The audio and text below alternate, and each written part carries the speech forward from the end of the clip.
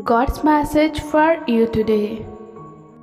You must learn to trust God's timing, but first, your self will and your spirit of independence must be broken so that God is free to work His will in your life and circumstances.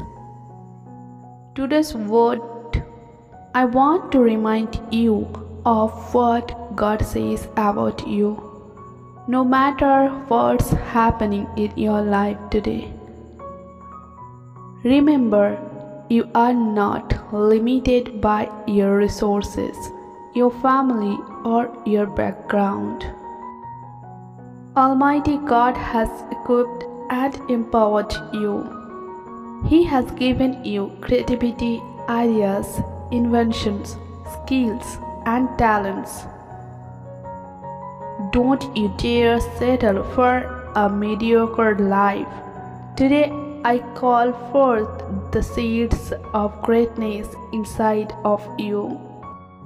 If you read this full video, you will be fine. Money will come to you.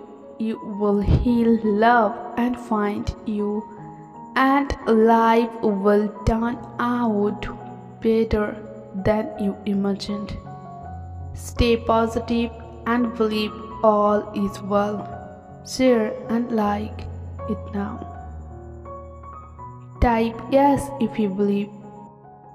God says, I am so proud of you. Keep going. I am going to place you in so many unexpected ways. This is just the beginning. Better days are coming.